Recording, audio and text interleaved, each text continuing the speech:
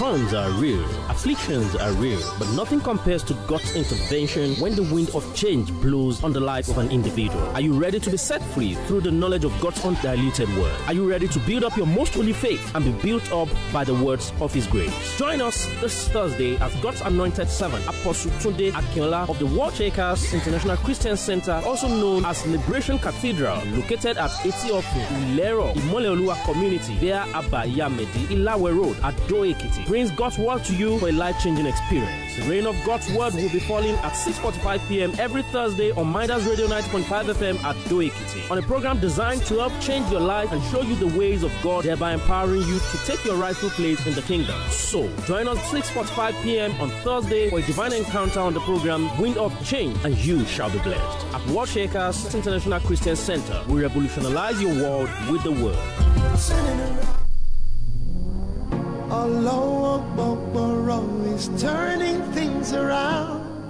Praise the Lord. Hallelujah. Glory be to God. Shall we pray? Father, in Jesus' name. Heavenly Father, I want to appreciate you for another opportunity you have given unto us to learn at your feet today. Father, accept our thanks in Jesus' name. Father, as we look into your word, speak to us directly in the mighty name of Jesus. Let your word have the desired effect upon our lives in Jesus' name. And at the end of today's teaching, Father, let your name and your name alone be glorified. Thank you, Lord, for answer prayers. In Jesus' mighty name, we have prayed. Amen. Praise the Lord. Hallelujah. You are welcome to today's edition of Wind of Change. I am Oluwatunde Akinola. And by the grace of God, I'm the senior pastor of the World Shakers International Christian Center at Ado Ekiti. You are welcome to this powerful edition. And by the grace of God, we are looking at the topic that says uh, Secrets of Success.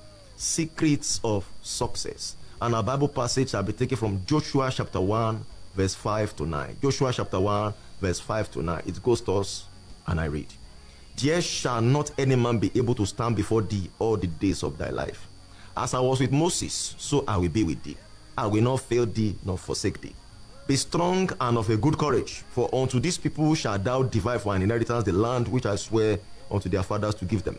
Only be thou strong and very courageous, that thou mayest observe to do according to all the law which Moses my servant commanded thee. Turn not from it to the right hand or to the left, that thou mayest prosper whithersoever thou goest. This book of the law shall not depart out of thy mouth, but thou shalt meditate therein day and night, that thou mayest observe to do according to all that is written therein. For then thou shalt make thy way prosperous, and then thou shalt have good success. Joshua chapter 1, verse 5 to 8 and verse 9 says, Have not I commanded thee? Be strong and of a good courage. Be not afraid, neither be thou dismayed, for the Lord thy God is with thee whithersoever thou goest. Amen. We are looking at secrets of success. Permit me to share a few points with you as we progress into this teaching. I've realized that the desire for success is a universal desire. It is a desire that cuts across all races, religions, genders, cultures, and environments. That means whether you are a Christian, you are a Muslim, you are animist, idol worshiper, everybody wants to succeed in life. Even artists, people that don't have religion, they want to succeed. Whether you are an American, you are a Nigerian, European, everybody wants to succeed in life. There is no man that desires failure. Every man has the desire for success. So it is desire of every man to be successful in life, male and female, young and old, student and teacher. Everybody wants to succeed. There's nobody that does not want to succeed. In fact, there's a popular saying that failure is an orphan. Nobody wants to associate himself with a failure. Nobody likes it when they call him or her a failure. So everybody wants to succeed. Now, number two, it is God's plan and program for all his children to be successful in all areas of their lives. When you look at Deuteronomy chapter 28, verse 1 to 7, it's full of promises that God made for us. Uh, that if we obey him, we keep his commandments, we'll be the head and not the tail, we bless our going out, our coming in, our baskets will be full. A lot of blessings that God promised us if we obey his commandments. So our God is a God that wants his children to succeed, he wants his children to prosper. Even Psalm 35 verse 27 says that God has delight in the prosperity of his servants. So God wants us to succeed in whatever we do. Whether you are a student, God wants you to succeed. How is God glorified when you have carryover upon carryover? How is God glorified when you have spillover? How is God glorified when you have extra year? So God is not interested in failure. God wants you to succeed. If you're a civil servant, God wants you to succeed. You're a businessman, God wants you to succeed. You're a teacher, a nurse, whatever you are doing, God wants you to succeed in it because it will glorify Him. That's the truth of the matter. Because when you are a failure, you can't have mouth to talk. Failure is a silencer, while success is an amplifier. I will take that again. Failure is a silencer. Success is an amplifier. When a man is a failure, you can't even have voice to talk. Nobody will believe you. Well, oh, my friend, go and sit down. That's what they'll tell you. What have you done? What have you achieved that will make us to listen to you? I pray for you. The failure that will silence your voice, it will not come near you in the mighty name of Jesus. Now, it is not every man that will achieve success. That's the truth. Even though God wants us to succeed, even though every everybody wants to succeed, but it is not every man that will achieve success. Why? Because it is not every man that will discover the secrets of success. Because every success that is recorded is a function of a secret that was discovered. So when you don't discover the secret of success, you can't achieve success. Like I said some time ago, I said you might not know a way to get somewhere, and when you don't know the way to get there, you can't get there. It's as simple as that. It doesn't mean that that place does not exist. You are the one that does not know the way to get there. For example, now I want to go to Lagos and I don't know how to get to Lagos. I will just be stranded in Aduikiti here, and it doesn't check the fact that Lagos exists. I'm the one that doesn't know how to get there. So success is real. Success is achievable, but if you don't know how to achieve it, it will be elusive to you, and it doesn't mean that God does not want you to succeed. So now, what is success? Let's know that one first before we go on. Success is the achievement of one's aim or set goals. Success is the achievement of one's aim or set goals. Then success is the accomplishment of God's purpose for one's life. That's the broader definition, the biblical definition of success. When God's purpose for your life is achieved, then you have succeeded. Now, there are two types of success. Number one, there is what I call bad success. Number two, there's what I call good success. Now, what do I mean by that? A bad success is the success a man achieves that does not glorify God. A bad success is the success a man achieves that puts his eternity at risk. For example, now, you know, I say success is the achievement of one's goal. Let's assume that uh, let's assume that a single lady sees a married man that he li- she likes, and she begins to make moves to enter his house and maybe drive the real wife out. Let's assume that she so say she maybe she was able to seduce the man and she succeeded and she drove out the wife at home and she entered as the wife.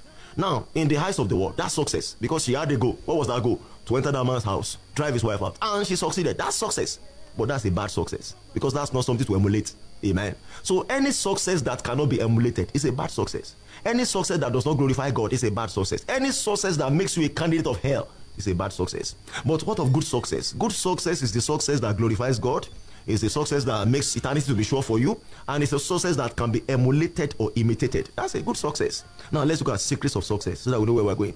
Number one secret is positive thinking. Yeah, Proverbs chapter 4, verse 23 says that guard your heart with all diligence, for out of it are the issues of life. Proverbs 23 7 also says that as a man thinks in his heart, so is he. So the journey to success is a journey that begins in the mind. The success you can't achieve in your mind is a success you can't achieve in life. That's the truth. Because your mind is the CPU of your life. Your mind is the central processing unit of your life. This is why you must be mindful what is going on there. Your thinking determines your action, and your action will determine your results. So, big things happen to those who think big. So, anything that a man does starts in his mind. So, what are you thinking? You can't be thinking of failure and you expect to succeed in life. No, you can't be thinking negatively all the time and you expect your life to have a positive result. No, it doesn't work that way. So pay attention to the thoughts that you allow into your mind because they influence the direction of your life. Then, number two, set clear goals. Set goals that are very clear. A goal is a dream with a deadline. And to live without goals is to end up dying like a goat. To live your life without goals is to end up dying like a goat. So a life without goals is like a football match without a goalpost. Football lovers that are listening to me, try to imagine a football match where the players are just kicking the ball around, no goalpost to to you know to to pursue. What makes a football match interesting? The attempt of each team to score uh, in the goalpost of the other team. That's what makes it interesting. All the strikers, defenders, midfielders, all their efforts, they are judged towards one thing: to put the ball in the net of the other team and that's what makes football interesting. Now imagine a football match where there's no goalpost. both teams don't have any goalpost. They are just kicking the ball around. How would that football match be? Boring, dry, dull, uninteresting. That's how the lives of so many people are when they have no goals that they are pursuing. So a life without a goal is like a football match where there is no goalpost. May our lives not be like that in the name of Jesus. Then number three, take relevant actions. It's not enough to think positively. It's not enough to set clear goals. You must take relevant actions. James chapter 2, verse 17 says, Faith without works is dead. Faith without works is dead. So plans that are not backed by concrete action is a mere illusion. No matter how big your plans are, no matter how wonderful your plans are, no matter how beautiful those plans are, if you are not backing them with concrete action, you are just daydreaming. That's the truth of the matter. So you need action. It is whatever you do that God will bless, not whatever you plan. 10,000 good intentions is not as powerful as one good action. I will repeat that. 10,000 good intentions, they are not as powerful as one good action. So action makes the difference, not intention. You may have the best of intentions, but if those intentions are not converted into actions, it will not make any difference in your life. So take relevant actions. Then number four, never stop learning. Never stop. Upgrade. Knowledge is power. We live in a world now where knowledge is evolving many years ago now, they taught us in secondary school. In my own days, they said we had nine planets in the solar system. But presently now, as, as I'm learning, we don't have nine planets again. Pluto has been deplanetized. They say Pluto is a dwarf planet. So we now have eight planets. Can you see that knowledge is evolving? Many, many years ago, they told us about uh, the classes of uh, is it food now, carbohydrates, whatever. They have added some to it now. Where uh, we were not taught in the secondary school. So many, many knowledge is evolving. So don't stay out of date. To be, to be, to, to, for when you refuse to upgrade yourself, you'll be downgraded. That's how life is. So knowledge is power. Your learning determines your earning. That's the truth of the matter. And one thing about knowledge that I've noticed, you will notice the last four letters in the word knowledge. E D G E. Knowledge. So what does that mean? That means knowledge gives you an edge. What you know gives you an edge over those who don't know it. So it's as simple as that. Knowledge is the difference between wealth and poverty. Knowledge is the difference between success and failure. That means there is something that the rich man knows that the poor man does not know. That's the truth. There is something that the uh, successful man knows that the failure does not know. So that shows the importance of learning. Get knowledge. And number five, persistence and diligence. I won't talk too much about that. But you know that if you want to succeed, you must be persistent and you must be diligent. You can't be lazy, you can't be giving up too easily and you expect to succeed. It doesn't work that way. You keep doing it and doing it until you get there. Then number six, innovativeness. You must be innovative. You, you must be innovative. Sorry, I'll take that again. You must be innovative. Do things differently. You can't be doing things the same way all the time and be expected to get a different result. It doesn't work that way. Then you, you can't be doing things the way others are doing it and you expect to stand out from them. No, it doesn't work that way. Look for a way to do your own differently. Because people have been doing this particular way. Do something differently from the others have been doing it and see whether you not get results. So be innovative, be creative. I pray God will help us. And lastly, time management. You must know how to manage time. Ecclesiastes 3:1. Unto everything there is a season and a time appointed to every purpose under heaven. So the outcome of your life is determined by what to do with your time. Time is the currency of life that God has put in the hand of every man equally. Every man has 24 hours. What are you doing with your 24 hours? American man has 24 hours. Nigerian man has 24 hours. Chinese man has 24 hours. Yoruba man has 24 hours. Hausa man has 24 hours. Every man has 24 hours. What are you doing with your own 24 hours? If you are wasting time, you are wasting your life. If you are investing time, you are investing something good in your life. So time can be wasted, time can be managed, time can be invested wisely. So are you investing your time or you are just wasting time or you are just whiling away time?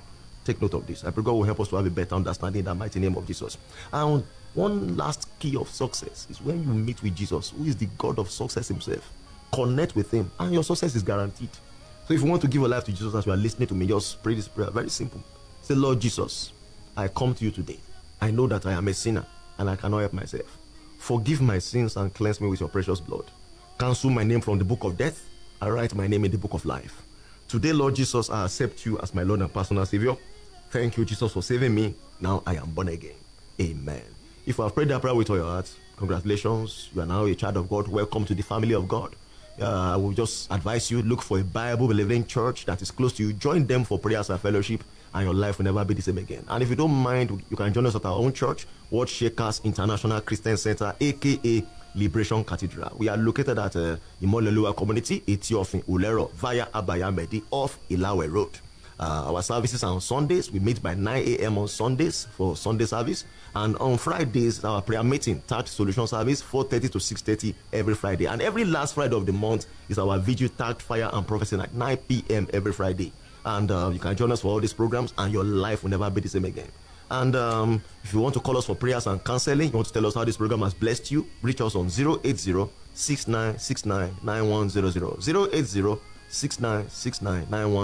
till i come your way again i remain oluwatunde akinola god bless you. Keep winning